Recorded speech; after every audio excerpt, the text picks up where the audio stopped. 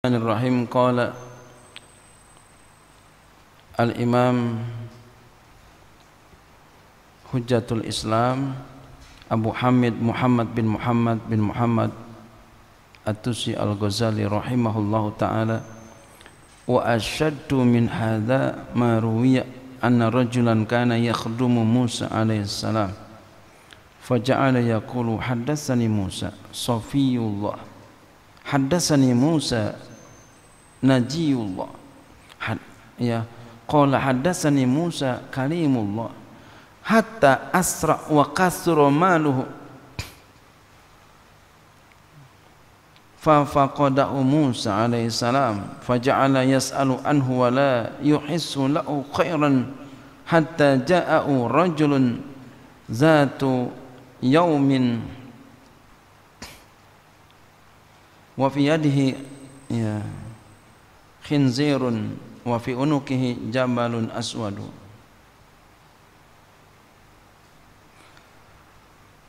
Wa asyadu dan lebih keras lagi min haza lebih sangat lagi dari ini yaitu maruya apa yang telah diriwayatkan anna rajulan bahwa ada seorang laki-laki. Karena adalah laki-laki ini yakhdumu berkhidmat Musa kepada Nabi Musa alaihissalam. Faja'ala yaqulu maka adalah ia berkata seorang laki-laki ini yang berkhidmat melayani Nabi Musa. Dia melayani Nabi Musa. Katanya apa? Hadasani Musa Sofiullah. Telah bercerita kepadaku oleh Nabi Musa seorang Sofiullah ya seorang teman yang tulus ikhlas. Qala haddatsani Musa najiullah. Telah bercerita kepadaku oleh Nabi Musa seorang najiullah. Rahasia Allah ya. Seorang yang terpercaya Allah. Qala haddatsani Musa kalimullah. Telah bercerita kepadaku oleh Nabi Musa seorang pembicaranya Allah. Ya. moderatornya. Ya. hatta asra. Sehingga ia menjadi kaya. Tuh orang yang khidmat kepada Nabi Musa. Gara-gara dekat sama Nabi Musa. Mengambil keuntungan sama Nabi Musa. Wa maluhu hartanya banyak fa faqadahu Musa alaihissalam lalu Nabi Musa tidak mendapati dia. Cari-cari ini orang ke mana nih? Duitnya banyak gitu. Banyak. Tapi dicari kok enggak ada. Ke mana nih orang? Faja'ala yas'alu anhu. Maka ada Nabi Musa bertanya tentang dia wala yuhissu lahu khairan. Dan beliau tidak merasakan kebaikan kepadanya. Nabi Musa enggak merasakan adanya kebaikan sama dia. Walaupun melayani Nabi Musa. Tapi Nabi Musa enggak rasakan adanya kebaikan kepadanya orang itu. Ini melayani Nabi Musa, melayani guru, tapi guru tidak merasakan adanya kebaikan orang ini. Karena adanya sesuatu yang enggak baik. Khidmat tapi enggak baik.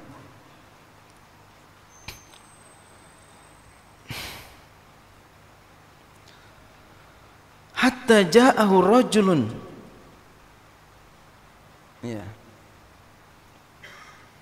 Sehingga datang kepada Nabi Musa seorang laki-laki Zata yaumin pada satu hari Zata yaumin pada satu hari datang seorang laki-laki Wa fi yadi khinzirun di tangannya ada babi Wa fi unuki jabalun aswadu di lehernya ada gunung yang hitam, yang gunung. Faqala lahu Musa alaihissalam lalu berkata Nabi Musa alaihissalam hablun ya bukan jabalun ya ini ya itu jim apa ha? Hah? Hah? Ha. Iya, ha. Ini jim lagi. Wa fi unukihi hablun aswadu dan pada lehernya ada tali berwarna hitam. Ya. Kalau Jabalun kagak masuk, masih ada gunung sih. Ya.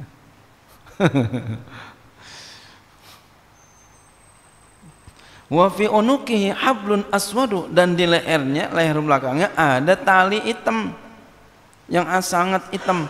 Faqala lahu Musa alaihi salam. Lalu Nabi Musa alaihi salam bertanya kepadanya, "Ata'rifu fulana?" Apakah kau kenal si fulan? Ya. Nabi Musa tanya kepada laki-laki ini yang di tangannya ada babi, di lehernya ada tali hitam sangat hitam Nabi Musa bertanya apakah kenal si apakah engkau kenal si fulan tuh orang yang khidmat sama Nabi Musa yang ngelayanin Nabi Musa ini orang ngelayanin Nabi Musa jadi murid ngelayanin gurunya tapi gurunya enggak merasa ada kebaikan sama muridnya ada apa ini? Lalu orang ini jadi kaya tapi tiba-tiba kagak ada. Nabi Musa cari-cari ke mana nih orang. Nabi Musa ketemu seorang laki-laki. Tanyalah Nabi Musa kepadanya. Apakah engkau kenal si fulan? Qala na'am. Kata orang ini, "Ya, saya kenal." huwa hadzal khinziru Allah kata laki-laki ini orang ini babi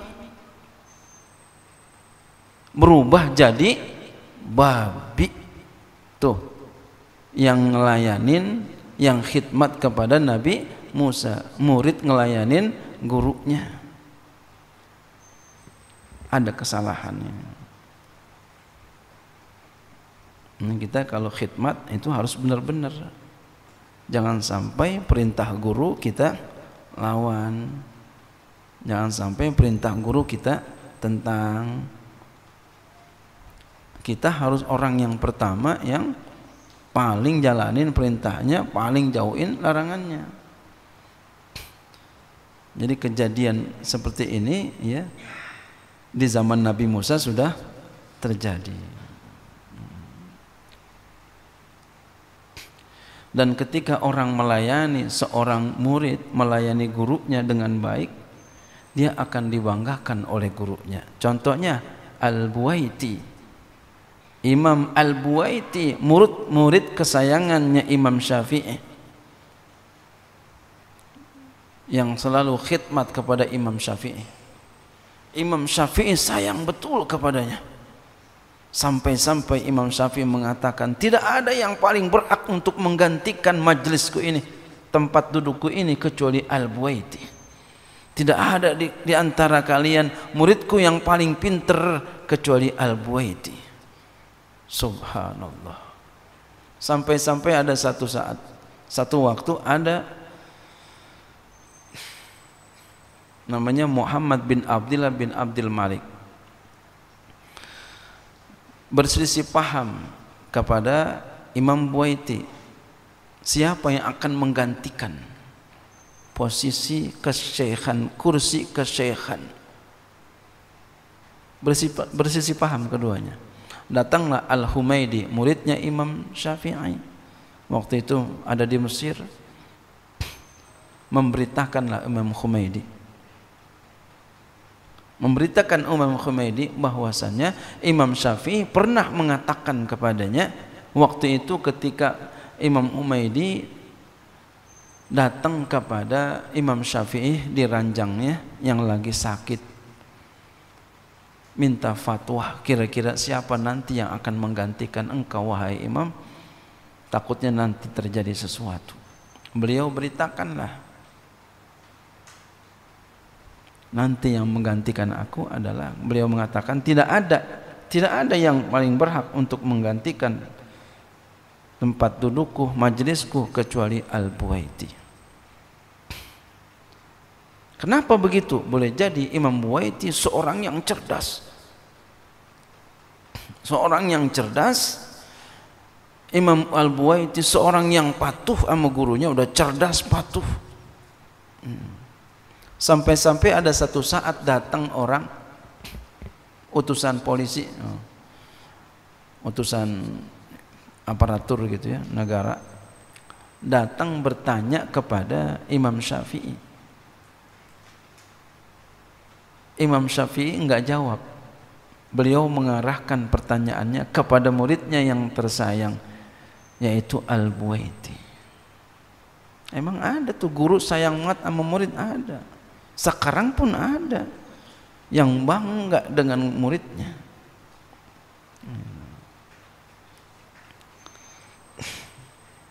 Al-Buaiti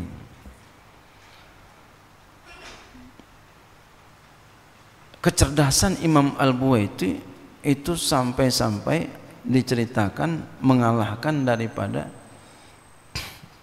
dua muridnya Imam Syafi'i. Termasuk dua murid yang beliau sayangi juga andalan. Tapi yang paling beliau sayangi adalah Al-Buwaiti yaitu Al-Muzani dan Ar-Rabi Al-Muradi. Tapi kita lihat di kitab-kitabnya itu ya kitab-kitab Syafi'iyah lebih banyak ya Al-Muzani yang ditulis Arabi. Kenapa begitu? Karena Imam Al-Buwaiti beliau ya di penjara. Beliau di penjara lantaran mempertahankan akidah yaitu kalam Al-Qur'an adalah kalamullah bukan makhluk bukan makhluk kalamullah. Al-Quran kalamullah bukan makhluk. Qadim. Beliau dipenjara oleh penguasa.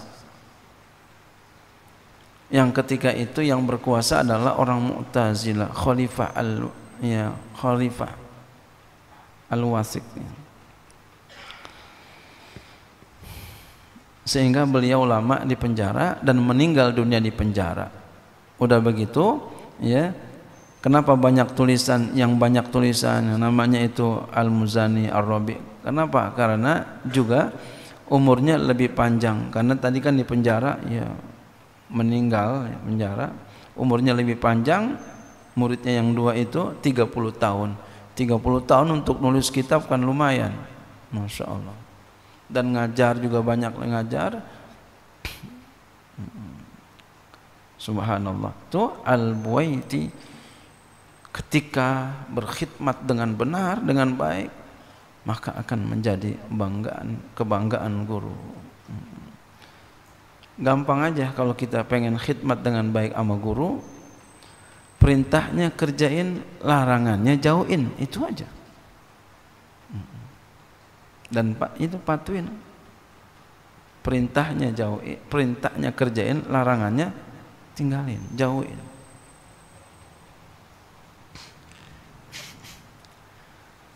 ntar yang enggak pinter jadi pinter gitu. Insya Allah kenapa doa guru? Itu banyak orang yang seperti itu.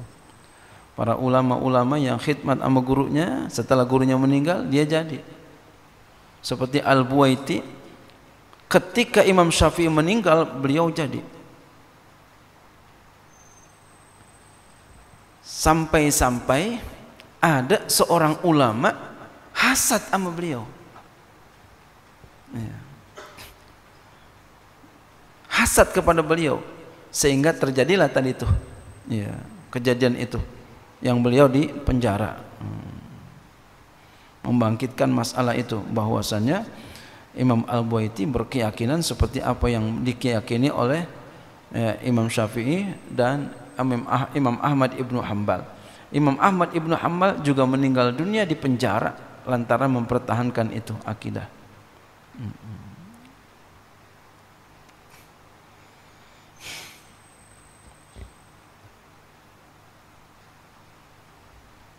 Iya.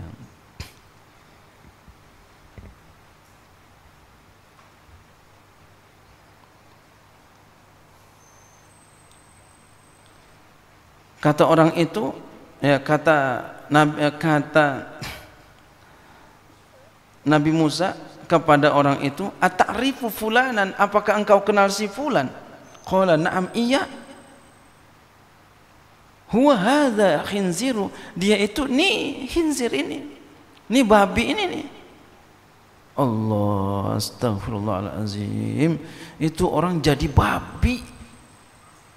Faqala Musa lalu Nabi Musa berkata ya Rabbi wahai Tuhanku as'aluka antarudda'u aku minta kepada engkau ya Allah agar engkau kembalikan dia ya Allah ila halihi kepada keadaannya hatta as'alahu sehingga aku dapat bertanya kepadanya bima asobaka hadza dengan sebab apa dia mendapati ini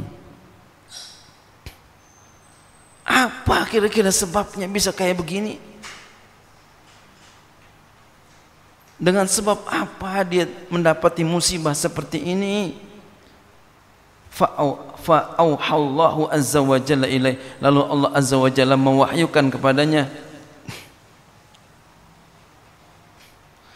Lau da'autani billadhi da'ani bi'i Adamu famin dunihi ma ah ma ajabtuka fi'i walakin ukhbiruka lima sana'ta hadha bihi lalu Allah Allah azza wa jalla mewahyukan kepada Nabi Musa lau da'autani jikalau engkau berdoa kepadaku billadzi da'ani bi dengan yang ia doa kepadaku Iya, billadzi da'ani bi'i Adamu.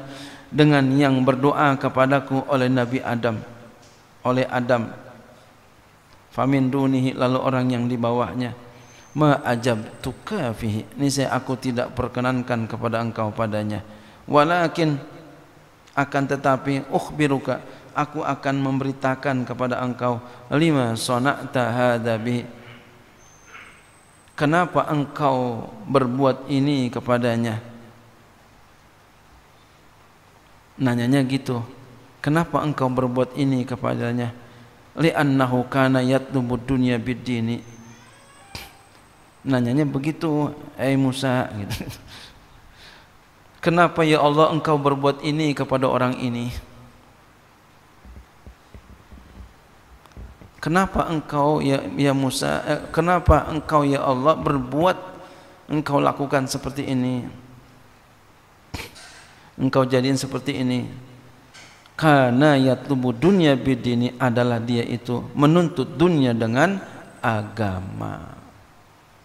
Jadi agamanya buat alat untuk mendapati dunia tuh orang jadi berubah. Muridnya jadi berubah yang khidmat sama dia manusia jadi babi. Nauzubillah. Summa nauzubillah min zalik.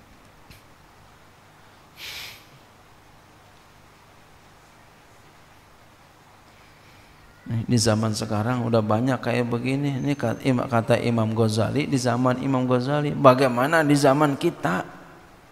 Imam Ghazali begitu lantangnya beliau, begitu tegasnya beliau mengatakan bahwasanya ulama ada dua ada ulama dunia, ada ulama akhirat. Dan Imam Ghazali berpendapat bahwasanya kemarin tuh kalau kita ngajarin ngaji jangan pakai duit. Jangan minta duit. Sampai begitu Imam Ghazali ikut amar Rasul. Kenapa begitu? Pantas beliau nggak mau ini. Jangan sampai karena ini.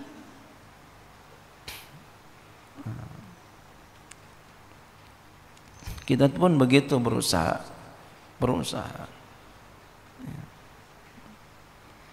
Orang bagi kita ambil, enggak dibagi jangan mengharap.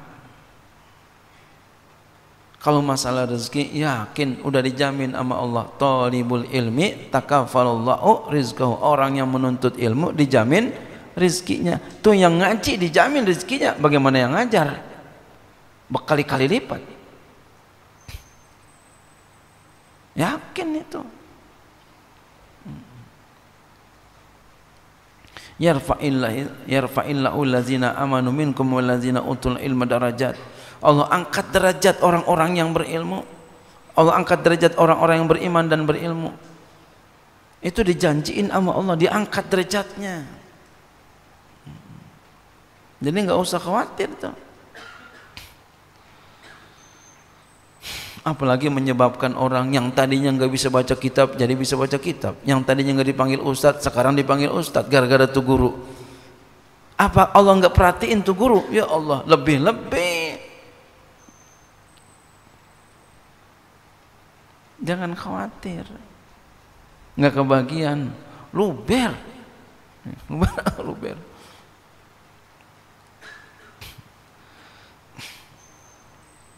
luber kata Nabi ya ada satu kisah ya di Riyadus Salihin ada dua orang saudara. Dua orang saudara. Yang satu kerja yang satu ngaji aja. Sama Nabi. Dengerin perkataan Nabi dengerin ngelihat perbuatan Nabi. Senang jumpa sama Nabi senang duduk bersama Nabi. Ya namanya juga saudara lama-lama nih saudara ngeluh. Mungkin boleh jadi untuk makannya dibantu sama saudaranya yang kerja. Ya. Lalu dia ngeluh. Nggak mungkin dia ngeluh kalau nggak ada begitu. Ya. Ngeluh tuh ngadu sama Nabi ngeluh. Si Anu katanya ngaji aja kagak mau kerja nggak mau cari duit. Dia makan sama saya gitu. kira ngeluh ya, ngeluh ya hai sumakola. Sekira-kira begitu. Itu diceritakan dalam hadisnya ngeluh aja. Ngeluh tentang mengaduk tentang saudaranya yang kagak kerja yang ngaji doang. Apa kata Nabi? Boleh jadi rezeki kamu sebab dia. Nabi enggak omelin orang yang ngaji tuh yang ngaji doang yang kagak cari kerja. Enggak. Nabi nasihatin kepada orang itu boleh jadi rezeki kamu sebab dia. Boleh jadi rezeki kamu sebab dia. Subhanallah. Jadi Nabi dukung tuh orang yang ngaji aja tuh ngaji. Kecuali kita punya anak bini ya cari duit juga. Ini yang masih belum ada kewajiban. Nabi dukung tuh. Ntar dikasih sama Allah. Wa aglazu min ada ya, ada lagi yang lebih keras lagi daripada ini. Meruya merwa Muaz bin Jabalin. Apa yang meriwayatkan oleh oleh Muaz bin Jabal radhiyallahu anhu. Mauqufan hadisnya mauquf. Wa marfu'an hadisnya marfu' fi riwayatin pada satu riwayat anin nabi dari nabi sallallahu alaihi wasallam qala beliau bersabda min fitnatil alimi. Ini lebih keras lagi daripada hadis yang tadi. Tentang orang mencari dunia pakai akhirat dimahalin tuh biar dapat duit banyak astagfirullahalazim hmm. lebih keras lagi nih kata kata Imam Ghazali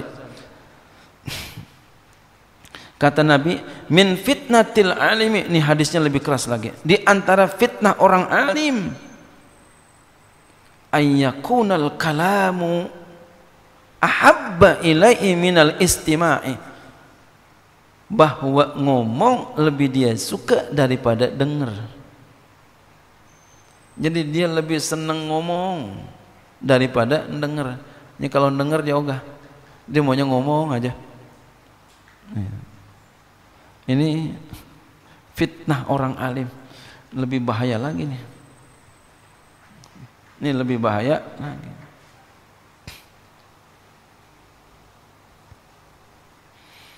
Namun kita juga biar adab ya.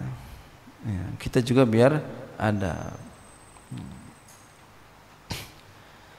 Kita biar adab. Kalau ada guru, ya kita pantasnya bagaimana begitu. pantasnya gimana kalau guru masih ya guru kita suruh dengerin orang kan begitu dulu saya punya guru Mualim Syafi'i Azami beliau diundang beliau ngomong tuh walaupun sedikit jangan kita bilang sama beliau kiai dengerin aja duduk aja. Ya kemudian kita ada suzon seperti ini hadis ini. Oke mau ngomong mulu dengerin sekali-sekali. Jangan begitu kita. Itu namanya kita kurang adab sama guru. Kasih guru bicara walaupun sedikit 10 menit. Begitu. Walaupun sedikit 10 menit karena kita guru muridnya adabnya kayak kayak begitu. Adabnya begitu. Jangan kita suruh dengerin guru guru dengerin. Sama aja kita suruh guru ngaji. Jadi sama-sama adab ya. nah kalau kita sama orang lain kita jangan pengen ngomong mulu jangan. Ya, dengar nah, jadi kita penuh adab. Bagaimana adab kita sama guru bagaimana kita beradab sama orang? Gitu. adab kayak begini. Murid beradab sama guru. Guru juga punya adab sama murid. Saling sama-sama beradab. Jaga begitu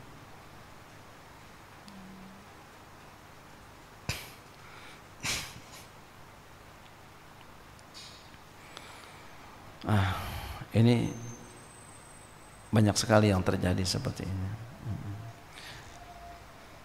Wafil kalami dalam suatu kalam ya wafil wafil kalami dan pada omongan itu tanmiqun wa ziyadatun. Dalam omongan itu ada perhiasan ada tambahan. Jadi kalau ngomong itu ada hias-hias dibagus-bagusin ngomongnya dan ada tambah-tambahannya. Wala yu'manu an ala sahibihi al khatau tidak diamankan atas sahibnya atas yang ngomong itu ya akan kesalahan. Sangat dimungkinkan salah. Tidak diamankan. Jadi sangat dimungkinkan orang yang banyak ngomongnya salah. Ya. jadi kita terserah aja. Orang mau suruh ngomong kita ngomong kalau enggak disuruh ngomong juga kita enggak ngomong hmm. tadi kita pakai adab ya, adab kita jangan sampai enggak pakai adab Bagaimana adabnya? Wa fi samti salamatun wa ilmun dan pada diam itu ada selamat dan ada ilmu. Diam selamat. Ya, saya ingat betul tuh kalau guru saya Kiai Syafi'i Azimi, beliau setiap maulid itu diundang dan beliau disuruh ngomong. Beliau ngomongnya cuma sebentar 10 menit aja Emang ngomong-ngomong ilmu sedikit? Enggak. Beliau enggak seperti orang ceramah enggak. Ya, ya kalau orangnya bosan gitu. tapi beliau ngomongnya sedikit tapi buat orang yang ahli ilmu ya senang. Ya. Orang ahli ilmu tuh senang enak. Itu namanya murid-muridnya beradab. Adabnya begitu. Adabnya seperti itu. Nah kalau kita sama orang kita jangan kepengen banget disuruh ngomong. Kita jangan pengen banget ngomong jangan. Kalau disuruh ngomong kita ngomong. Kalau nggak ngomong ya udah. Makanya siap aja. Ya, siap aja walaupun kagak dijadwal suruh ngomong ngomong siap ya. Kalau kita nggak disuruh ngomong lalu disuruh ngomong tiba-tiba kita disuruh ngomong itu ketahuan keilmuan kita bukan orang sembarangan itu ya. kalau apa kita enggak kalau kita udah disiapin dari jauh-jauh waktu ya itu kan udah siap namanya tapi kalau kita disuruh ya ketika detik itu juga karena ceramah yang lain kagak datang lalu kita disuruh lalu kita bisa itu bisa digambarkan keilmuan kita siapa itu. Berarti ilmunya banyak itu orang. Dan ketahuilah ketika itu yang nyuruh Allah subhanahu wa ta'ala insya Allah bisa dan cakep insya Allah